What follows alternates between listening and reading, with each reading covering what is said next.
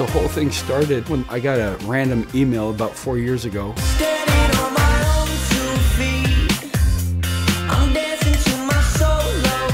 A Stanford graduate student working on his PhD thought that anybody can do science. And he wanted to really do something with uh, students who might otherwise not get the uh, opportunity. An opportunity to work with an incredibly passionate mentor to define their own goals and to succeed in achieving those goals throughout the course of a year. The initial uncertainty was the follow through, the ability of the mentors, despite their wanting to help, would they be able to get the time uh, to, and would they have the energy to continue to interact with their students? For a student to put themselves out there a little bit, there's got to be that trust. There's got to be that their end of things, they believe that you're going to be there. I was truly amazed that so many graduate students would be willing to come in after a long week of working in the lab. And at the same time, so many high schoolers were looking for an outlet to follow their curiosities. So that's how FAST started.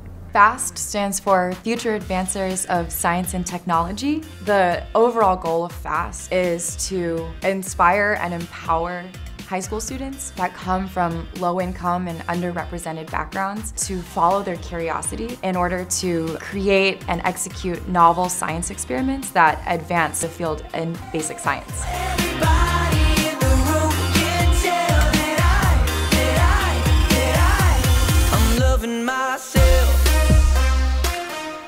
My parents almost, not that they didn't believe it, it was just like a little bit out of the ordinary to hear like your kid telling you, hey, I'm gonna go to school on Saturday for five hours to do work that I don't have to do, but I'm, I want to do it. In my background, there's no one in science and there's no one that went to college even. So one thing that I lacked definitely was role models. Brianna was a student who immediately uh, we had a connection in terms of our research interests.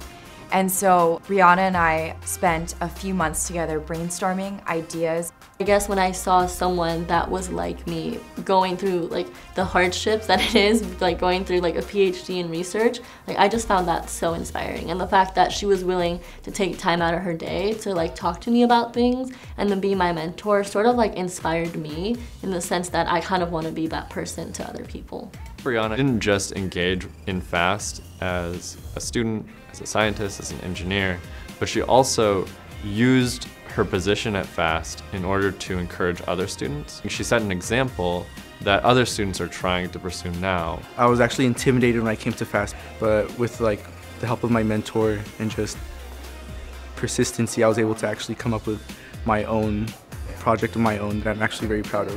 At first it's just very strenuous and sometimes it's a little scary, but I think that's the good part about it. It's an opportunity to let yourself dive into the unknown without, like, I guess, without big consequences. It's really a, a safe space emotionally, if you will, uh, but understanding that it's not necessarily about getting rid of all the challenges in your life. Challenge-free life uh, doesn't really provide opportunity for growth.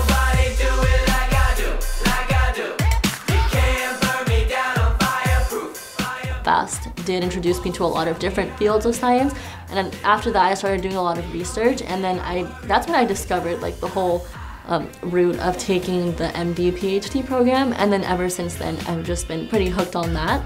I'm just a biology person, that's just who I am. Yeah, I like research and I like talking about science for a long time. So that's, that's what I do. do